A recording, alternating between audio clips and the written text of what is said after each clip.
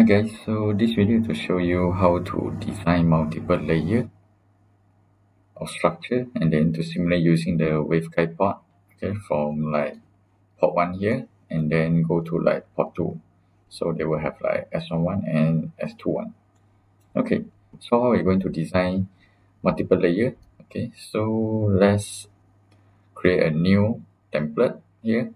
Okay then you just click on this design.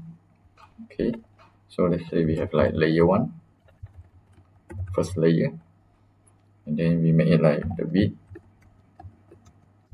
the length and the height so height one. So let's say we choose the material maybe is let's say PVC it's fine.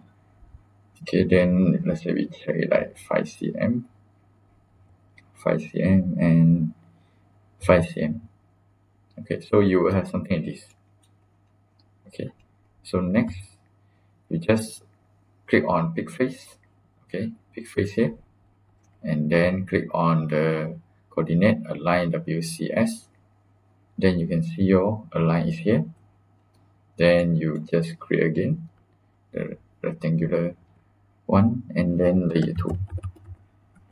Okay so you repeat like W. If the same dimension then let's say L L and the H is H2 then you can choose for other material. Let's say we choose like wood. Okay. And then just click OK. Then the thickness for the second layer let's say is 3 okay now you have another layer. So you want to go the another layer in front here. You just pick face you click here or click S pick face here and then click on the align WC the coordinate and then just choose again the design.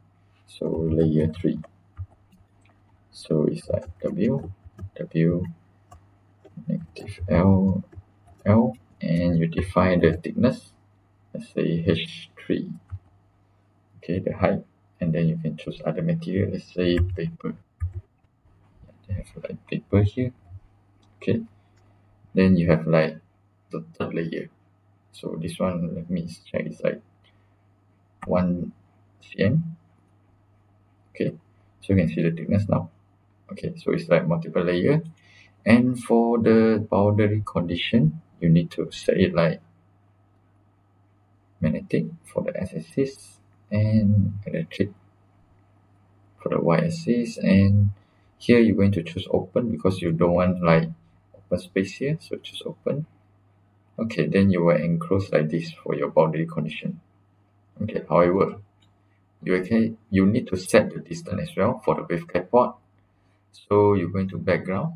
Okay let's say you're going to simulate like 10 cm far away 10 cm okay so something like this. And then you set your waveguide port here.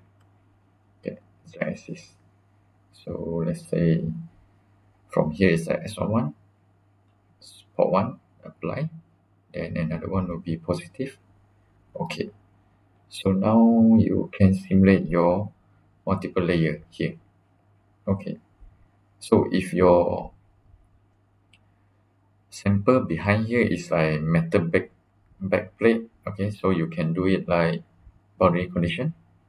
Just remove the max here I think you can make it like open.